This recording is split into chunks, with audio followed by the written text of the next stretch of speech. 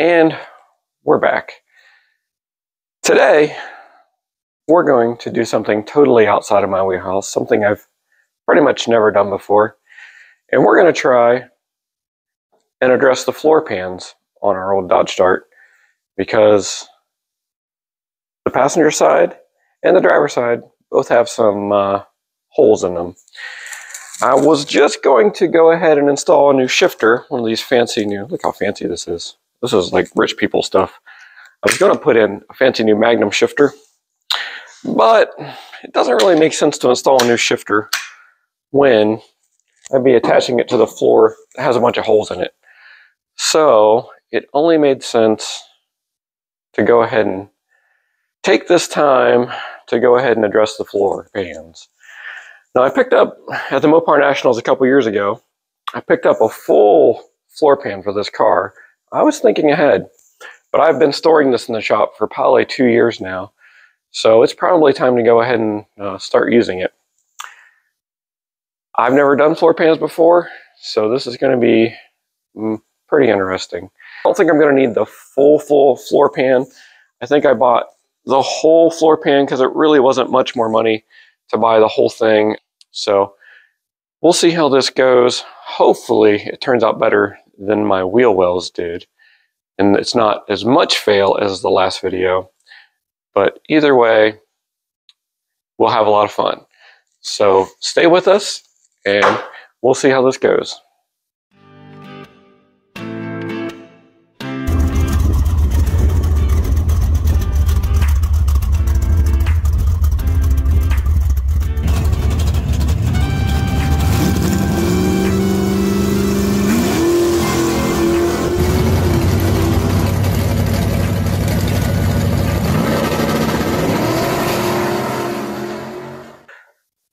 The first thing we're going to do is clean out the interior.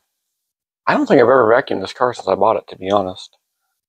But I have put these very fancy air purifying filters in here. These are awesome. You should put these, I highly recommend these in every car you own. Um, I don't know if you can see, these eliminate odors. They're like charcoal activated. You can set them out. You leave them in your car and it like absorbs all the stinky smells. And uh, all you have to do to recharge them is set them out in the sun one day, and then you come back and your stinky smells are gone. And they really do work pretty good. We keep them in pretty much all of our classic cars, our daily drivers. Keep them in the motorhome, especially. Lots of them in the motorhome, just because. Uh, just because. And then if you live in the Midwest, you probably fight with mice. So you can see we always keep a little bit of Irish Spring in most of our old cars too, just to hopefully keep the mice away. Oh, you can get those bags on Amazon, by the way. They're not expensive.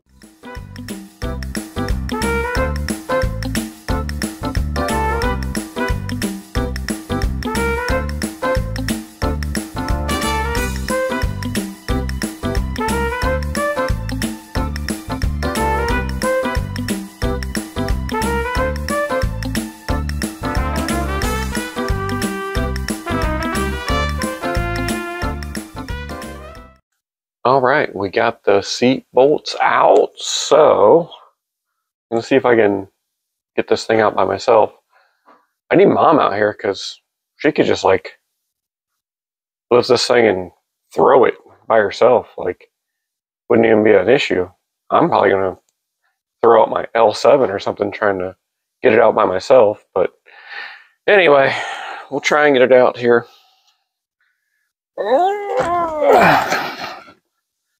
Hopefully, who knows what hidden treasures will be underneath this seat.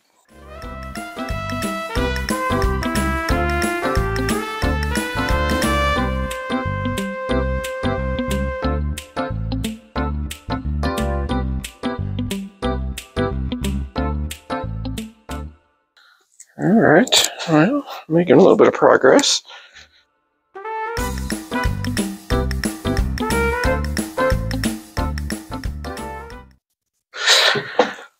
All right.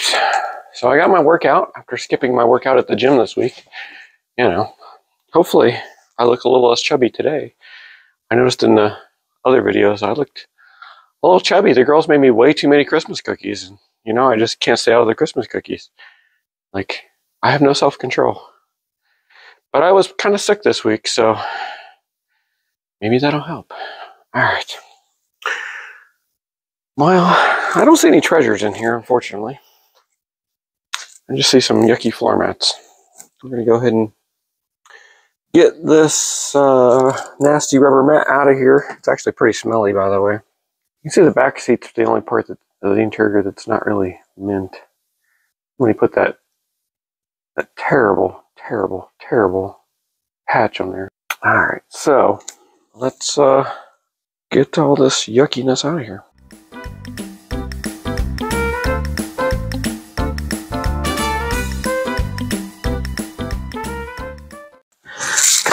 Could really use the Hulk right now.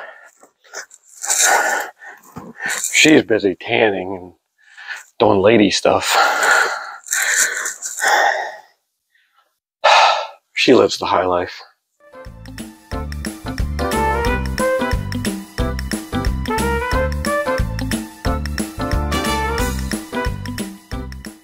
I don't know if these seats were redone or what. They are like in such good shape. Oh, amazing. Let's see if we can get this disgusting and smelly rubber mat out of here. Every time I touch it, I cringe. It's so funny in all these old cars that they have so many of these ashtrays. Like, I think this car has like, I don't know, three or four ashtrays. Like, apparently everybody in the family smoked. Mom, dad, the kids. Your 12 year old kids must have smoked back in the 60s, I guess. But they're in really good shape still. We're going to go ahead and try and get this floor mat out. Can't come soon enough because every time I touch it, my hands just smell worse and worse and worse. And it's kind of grossing me out, to be honest.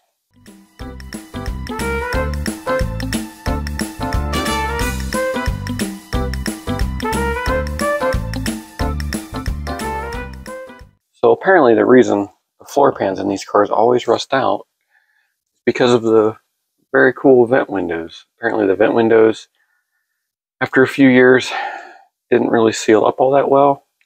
And a little bit of water would just trickle in through the vent window, down to the floor. And if the car was sitting on an angle, it would come back to this part. And that would lead to the rest of the floor rusting out on these cars.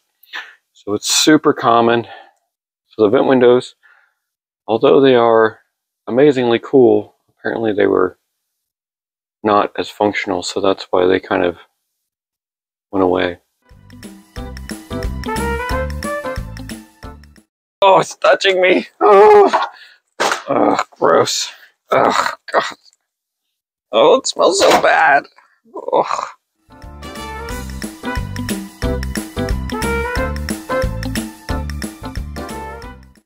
Some uh, review. The floor in this car is a little worse than I thought it was. The gentleman said it was a solid car, but so if we're gonna have a roll cage put in this car, they're gonna weld it since this is a unibody car. They're gonna end up welding it to that floor. So it needs to be somewhat have something decent to weld it to, and that's not really the case right now. So I'm glad I pulled that out because we are definitely going to have to do a left and right. It looks like the center tunnel is okay. So we will uh, we'll keep moving forward. That's all we can do. After a quick trip into the house to uh, wash all that, uh, we got the rubber mats out of the shop and disposed of, and I went and got my shop supervisors to cheer me up after the disastrous uh, findings that came about after taking this mat out. This ended up being a little worse than what I thought it was, so. So I brought the shop supervisors out to hopefully cheer me up. Although, they're almost as smelly as the car is right now. What are you guys into? Got the seats out, we got the floor mats out, so now we gotta get the and the trim. So next is the seatbelt bolts.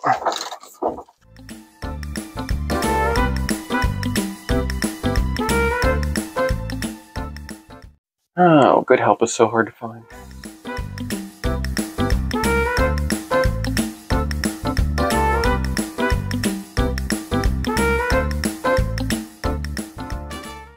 Ah.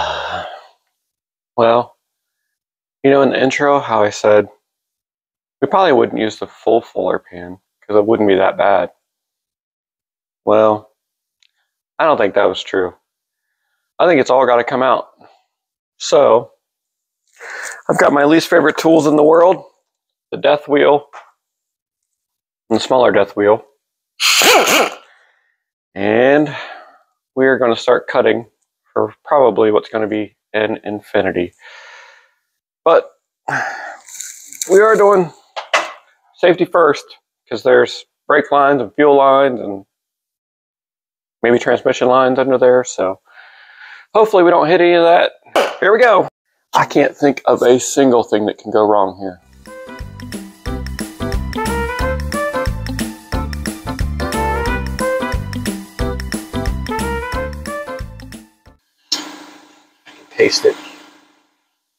Good.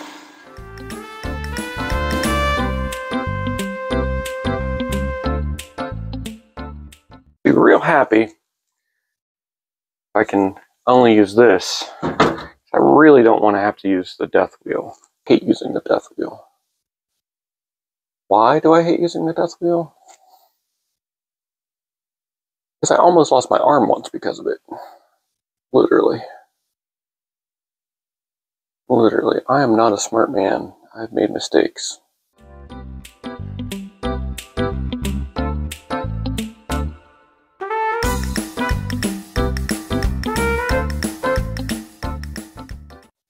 just to see how bad this really was. Can you see this? I I pulled the body plug out and the floor came with it. Well, I'm sure that's fine. The biggest fear over here is the fuel line is right here. And although I am replacing the fuel line, I do not want to cut it right now because um, I really don't want to burn my shop down. Kind of a bummer. I do like it.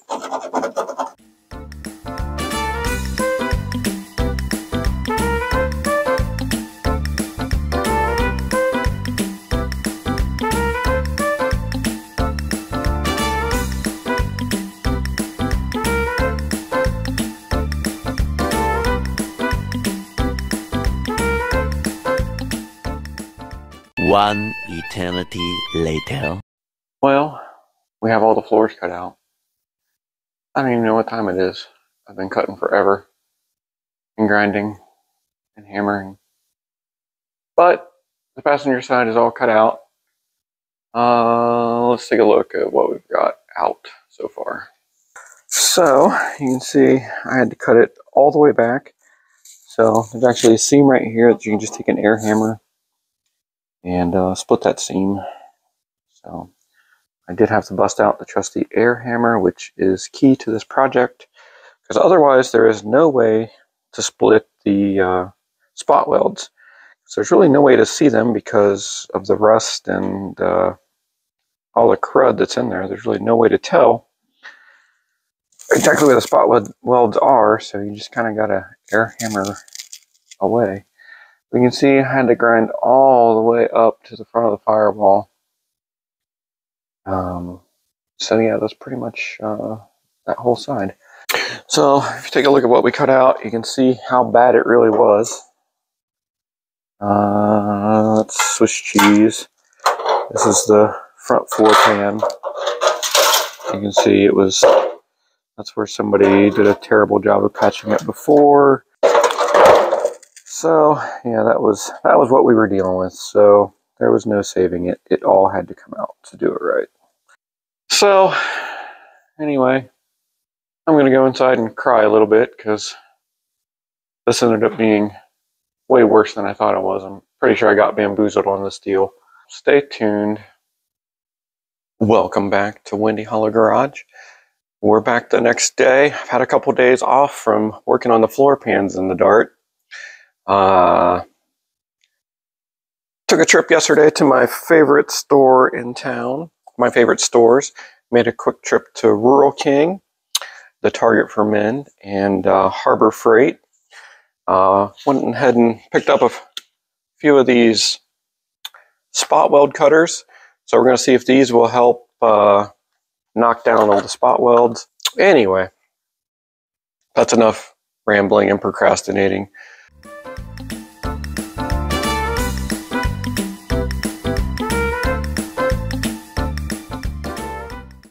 Well, the good news is the spot weld remover works quite well. The bad news is there's like a thousand spot welds. Not really exaggerating. It's like a thousand. Well, been grinding away and I have a problem. So, you'll notice a drip there on the floor and kind of smelled gasoline, which I think we talked about that when I was cutting the floor pan out. I was trying to avoid uh, hitting the uh, fuel line because the fuel line is right here. So I think the air hammer, air hammering to pull the, I don't think I actually hit it, but I think just the, maybe the vibrations of it may have finally knocked the, knocked a little hole in the, in the rust there. I mean, that fuel line was coming out anyway because there was no way this car was ever going to run tinned on this dinky little fuel line. I have a new one for it anyway. I was just uh, procrastinating putting that uh, in. Uh, luckily, I do have a fire extinguisher right there, so it was just a drip. And of course, when you have a nose that's uh, massive like mine, you pretty much pick up any smell like that immediately. So I smelled a little bit of gas, so we figured we better take a break here, and uh, we're going to pull this fuel line out. Probably don't have to pull the gas tank. I can probably just plug it with a bolt back there at the gas tank, and we should be good. But uh, I found that a plethora of tools is required for this. So we've got the air hammer for peeling back your layer. Little belt sanders are helpful for uh, getting into tight places, uh, grinding some of these rivets down that are in bad places. And then I found, of course, the little die grinder is good for taking down some of these, finishing off, finishing them off a little bit, I guess you could say. Anyway, pull that gas gas line off so I don't uh, so I don't lose the shop, man. We got our fuel line disconnected here. And I went ahead and had to give her a little snip snip right here because you see it runs down the frame rail right there and there's dropping the gas tank and know, taking half the car apart. There's just no way to get this out of here. We got all the fuel lines out. And I think we will take a break from grinding to let all the gasoline fumes uh, evaporate out here for the night. It's fine. It's fine. Everything's fine. anyway, I'm going to go inside, let the gas fumes evaporate out of here, plug the fuel tank, and uh, we come back tomorrow for more punishment. All right. Thanks for staying with us. Remember, like, share, subscribe. Thank you. Well, decided to come back out so I could sleep better tonight. Uh, the, most of the gas fumes have evaporated, or maybe they're just starting to get to me. I don't know. That might be part of it. I, I did take a dinner break, but we still have some. Uh, I can't even talk tonight, so they must have gotten to me a little bit. So, uh, but anyway, we've got this. Uh, this is all that's left of the passenger side. So, we've got a few more spot welds left, and then we're gonna we're we're going to defeat this tonight before I go in for the night.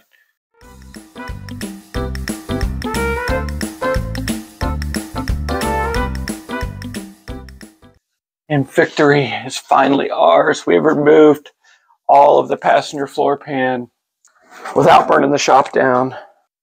Okay.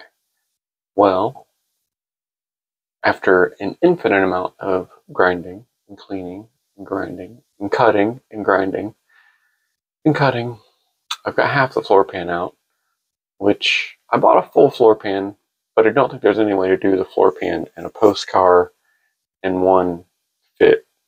Is there's just no way to fit the whole floor pan into the car. So I cut it in half, and we're gonna do one half at a time, which I figure that's probably better for me anyway because I can learn on the passenger side, and then when I get to the driver's side, maybe I'll be a little bit better, and then I can just stitch them back together uh, once I get to that point. So here's what we've got. We got we got uh, one of those Bluetooth floors going on. Literally nothing. We've got it all cleaned up and ground. I'm getting ready to fire up the welder. I'm going to go ahead and fill in these little spots where I accidentally ground all the way through. And then we're going to lay this panel in. But you can see how bad the floor pan was on the driver's side too. Like how bad somebody patched this up. It was just a disaster. Go ahead and try and patch up the little spots here. I'm going to hit everything with weld through primer and then I'll probably be done for the night as I let the weld through primer dry. And then tomorrow, um, you can see I already got the the pan split in half. I already got the edges all cleaned up on it. So it should be able to, ready to drop in and uh, stitch it back together. I'm not going to split it at these, at the factory welds up here. Um, I don't think there's any point in that on this car because the metal's pretty good. It's like perfect up here. There's no no rust up here. It's this is solid metal. So there's no point in me grinding this out. So I'm gonna lay it over top of this and then I'm gonna spot weld it right down over this and then we'll put some seam sealer over it. Be back uh, probably tomorrow. We reached a monumental step this morning. We have floor pan final fitted for the passenger side. So if you look, oh, it's really dark up there.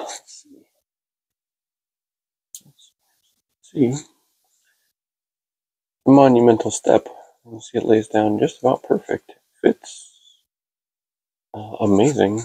Lays down really good all the way along the seam. So Need to trim just a little bit right there. It doesn't quite get perfect. We're about ready to, uh, I already got the holes knocked in for the seatbelt fastener. I uh, got those all cleaned up. I've got everything hit with weld through primer. Got the some, some the interior parts hit with uh, Rust-Oleum Rust Reformer. Parts that I'm not going to be able to get to once I seal this in. So this should be uh, a big step.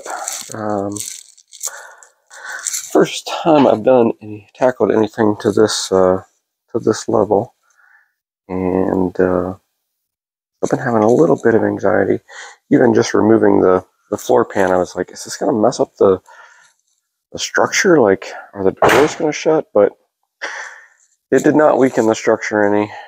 Um, it's kind of why that was another reason I kind of was okay with doing half and half because I was like, if I take the whole floor pan out, is it going to like the car going to start caving in on me? But the doors are still open and shut just fine. The gaps are all just fine. They haven't changed. So, um, plus, these floor pans were so rusted in the back that I don't really think they were adding much structural support to the car anyway. Let's be honest. Let's uh, clearance this last little section right here and we will move on to uh, final installation. Of half. Half of it. Only halfway done. So here is everything ready to be uh, put back together you can see I've everything covered in weld through primer this morning everything turned out pretty good. And then I also went over the spots I'm not going to be able to get to very well with Rust-Oleum where I'm not welding. that weld through primer is really good stuff. It really is thick. Um, it's expensive though, 20 $29 a can. But you can see it turned out really well. Way better than it did. Passenger side is sitting in place. I haven't welded it yet. I'm still getting to the... I'm about to figure out where I need to do my spot welds. I saw a tip on another site here, so I'm going to try it. Figure out where to mark your spot underneath here. Lay it in here and then it with some primer. That'll tell you, I'll outline where you need to drill your holes or uh, or your spot welds because there's going to be a ton of spot welds coming up here. I'm probably in over my head at this point. I'm really thinking, really second guessing this job at this point. I'm kind of thinking I should have paid somebody to do this. An average guy replace floor pans. TBD. TBD, folks. Woo! Alright. We have reached a monumental point. We have the floor pan installed. We have it uh, screwed into place here. We've got some screws. You see how good it fits. It fits uh, really well. So, we are going to go ahead and start welding. See, I got a couple, I got one tack in. I got two tacks in. I got tack here too. I got two tacks in, but the rest of them I had to uh, needed to pull it up tight before I wanted to, I did put those tacks in just to, so it didn't wiggle on me while I was screwing it down. Uh, but now we are ready to uh, finally put this thing where it's going to stay.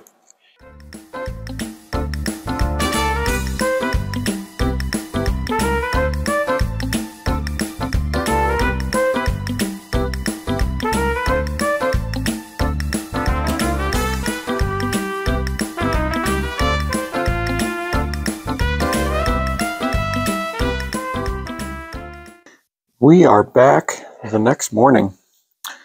And you can see I got up bright and early. And we got an Oscar the Grouch hiding in the in the floor pan here. There's uh see the I've already been hard at work this morning. I've got most of the driver's side floor pan already removed. And boy am I glad I got full floor pans because man it was rusty from the very back all the way through the middle to the very front.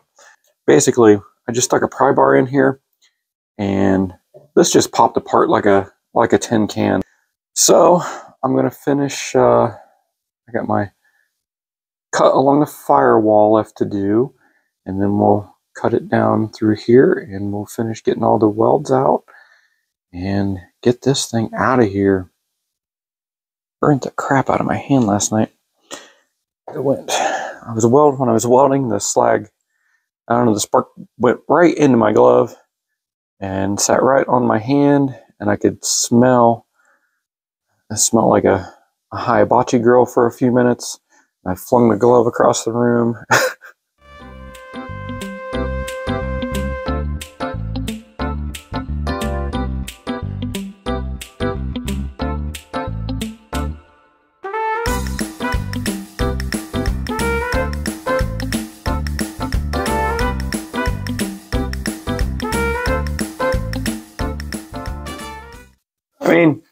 this was pretty much mint, right?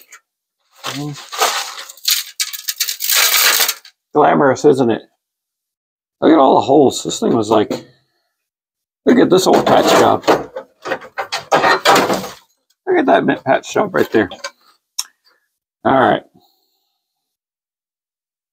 Ah, that is so gratifying. I feel much better now feel like I need to go have a beer after two showers.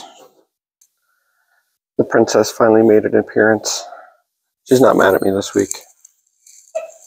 Last week she was mad at me. Yeah. This is her contribution. well, That is ridiculous. Dirt. that was just the driver's side. I'm gonna pick up that. I already flipped up uh, the passenger side, so. Mom's contribution, sweeping up the mess. She was on garage strike last weekend 'cause she was mad at me. It happens. Well, I think we're finally starting to make some progress here. I can finally see the light at the end of the tunnel. Looks like I have some dirt on the end of my nose. That's the problem when you have a big giant nose and it doesn't really fit in your welding helmet. Every time I pull down the welding helmet, it hits my nose. So there's always a smudge in my welding helmet. Big nose problems. But anyway, that's not really probably what you're interested in. Anyway, so we're actually starting to make some progress here. So you can see I have the tunnel stitched back together. And this is not the worst weld. It starts a little rough there. But this is not the worst weld in the world. I'm not terribly disappointed with how this has turned out. That's that, that doesn't look too bad. I mean, that's pretty good for a cubicle farm guy. I mean, I'm, sure that my talc fab is plenty safe. Uh, but uh, my spot welds all turned out pretty good. I've gotten a little bit better with the technique as we've gone. I haven't, I'm showing these ones, I haven't even ground them down yet, so I haven't even cleaned them up yet, so they're definitely coming along a lot better. Uh, I learned a, learned a little bit on the the drinker side, passenger side over there, so when I got to the driver's side, I had a little bit better technique. And this will definitely be way better than it was, because, you know, I'm actually sitting on the floor and not feeling like I'm going to fall through for once, so. You see I got the passenger side almost buttoned up, the driver's side is in the final stages here, so just a few more welds, and we will be to the promised land, so. This has been way more than I thought it was going to be. I haven't recorded everything because it's pretty much all the same. Cut, grind, weld, clean, repeat. Alright, back to welding.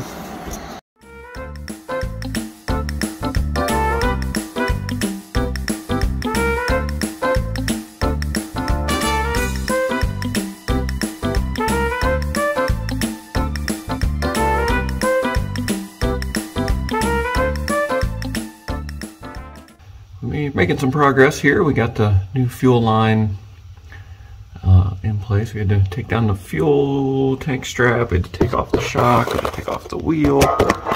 All kinds of fun stuff here. But the new fuel line, which is a right stuff uh, 3 8 line, I believe, should be a lot better than the factory little bitty line. Uh, I got to drill the holes for the seat, put the seat back in, and uh, then we'll be ready for at least drivable again. I got my helper back. She only comes back for snacks, which must mean we're getting close to being done. Anyway, notice her interesting haircut. oh, so we got the floors are all welded back in. Mom came out and made an appearance. She helped vacuum the car out while I put tools away. We actually got 13 pounds of dirt cleaned out of the car. And now I'm hitting everything with a little bit of Rust-Oleum Rust Reformer. Get everything with a quick coat of that over it. I realize the spot back here still looks kind of not the greatest, but it is solid. It just, uh, but I think that'll get improved when we put the roll cage in the car because we're to do something so that there's something obviously we're not going to weld the roll cage to that so we're going to run something from the frame rails across and then I think that'll address all of that so anyway we're going to finish painting and then uh, get ready for a seam sealer. So this is about how many wheels, cutting wheels, grinding wheels, things like that we went through. I think I actually did throw a couple of them away, but uh, this is a majority of them. So you can see we had one, two, three, four, five, six, seven, eight, and that one's uh, got stuffed on. Nine, ten. I think I threw at least two away. So I probably had a dozen cutoff wheels, a wire wheel, a couple flap discs, and that was a significant amount of grinding wheels. I'm gonna have to make a gonna to stock, make a run to Hobo Freight and stock back up real soon. Guess what? The floor pans are done. I can't believe it. Now I didn't get the shifter done, so I did fail a little bit. Would you expect anything less? But look at this. We've got the seat back in the car. We've got the floor pans back in the car. And I have my co-pilots ready to go for a cruise. Now it's about 20 degrees outside today, but we're to see if this puppy will fire up and we can at least go around the block. We got the old girl pulled out of the garage. We got the, the puppy dogs all loaded up. We got the single plane Torker intake all fired up on an ice cold day and she doesn't care. She wants to go cruise for a little bit. So I appreciate you guys tuning in. Hopefully you uh, enjoyed my suffering here a little bit and we are to go for a little bit of a cruise. Thanks everybody. Well, the floor pans are done on the dart. This was a good exercise to see if an average guy can replace floor pans. The answer is mm, kind of. I think they turned out pretty good. They're not perfect, but they're way better than they were. Uh, we don't have a lot of shouts this episode. We only used parts from the right stuff fuel line, and the floor pans were from AMD. What are we working on next? Next up is my 66 Plymouth Belvedere. We call her lovingly Betty White. She needs to get a little bit of TLC and get a few little updates done before racing season, since that's definitely getting closer and closer. As racing season approaches, uh, we plan on taking you guys along with us for the for the ride. Should be quite an experience. Feel free to check us out on Instagram to stay up to date on the shop shenanigans. Our Instagram handle is windy underscore hollow underscore garage. We appreciate you sticking around this long. Don't forget to like, share, and subscribe. Maybe roast him a little bit in the comments for us as well. And we will see you on the next one. Bye.